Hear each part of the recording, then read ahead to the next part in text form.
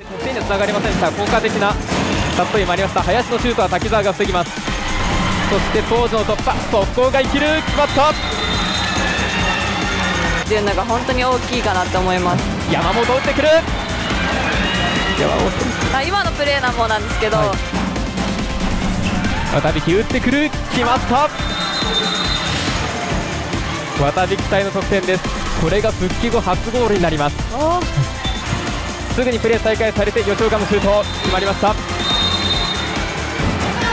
突破が投手の林。ここは名古屋ディフェンスブロックです。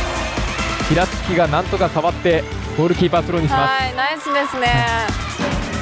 す高宮打っていく。まった。ーナイスです。さあ滝沢のセーブから。高宮。そして当時決まったでオーケープレーだ決まった。高宮から福地です。ナイスシューナイスシューですね。福地残り1分を切っています。飯島浮かせた。決まりました。30分が終わって26対20三重バイオレットアイリスが勝利しました